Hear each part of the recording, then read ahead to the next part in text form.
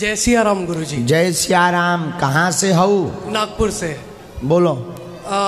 गुरु जी ये पूछना था जो हनुमान जी ने रामायण लिखे थे पत्थर पर और बोला जाता है कि उन्होंने डाल दिया था पानी के अंदर। समुद्र में। है ना समुद्र में। तो फिर बाकी जो चीज़ें लिखी हुई है राम जी के बारे में तो वो कैसे आगे आई? बहुत अच्छा प्रश्न। ताली बजाओ। श्री हनुमान जी ने अपने नाखूनों से रामायण लिखी पत्थर पर, शिला पर। उसका नाम पड़ा हनुमान नाटकम। क्या? बड़ी बड़ी शिलाओं पर जब रामायण को लिखा तो वाल्मीकि जी के आश्रम में जाकर के उन शिलाखंडों को रखा।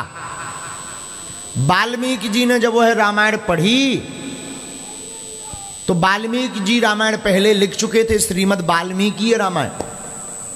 उन्होंने पढ़ी तो उन्हें लगा कि इस रामायण के सामने हमारी रामायण तो फीकी है।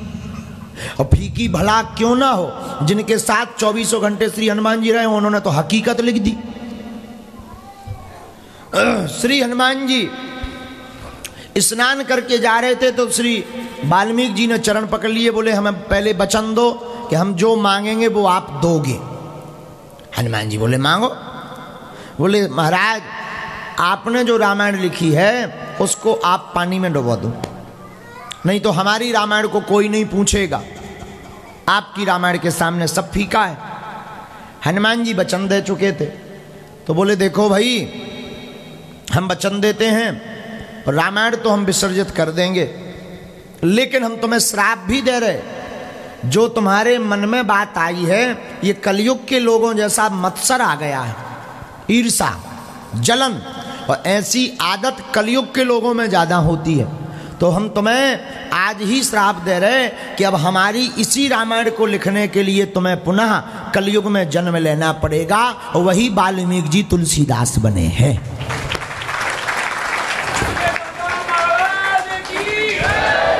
तो वाल्मीकि तुलसी भय कलिकुल के हेतु निस्तार। वाल्मीकि तुलसी भय वाल्मीकि तुलसीदास। तो वही वाल्मीकि जी, तुलसीदास जी बने। अब दूसरा आपने कहा था कि फिर सब कैसे पता है? तो लिखने वाले तुलसीदास जी, लिखवाने वाले हनुमान जी, इसलिए पता। तब तो गोस्वामी जी कहते, कभी ना हो ना मैं चतुर कहा हूँ ना तो मैं कभी हूँ, ना चतुर कहलाता हूँ। तो लिखवाने वाले कौन? हैं? लिखने वाले कौन? गोस्वामी तुलसीदास जी। इसलिए वो सभी गुप्त रहस्यों के बारे में तुलसीदास जी ने लिखा है और इसलिए वाल्मीकि रामायण से ज़्यादा रामचरित मानस का प्रचलन है हाँ।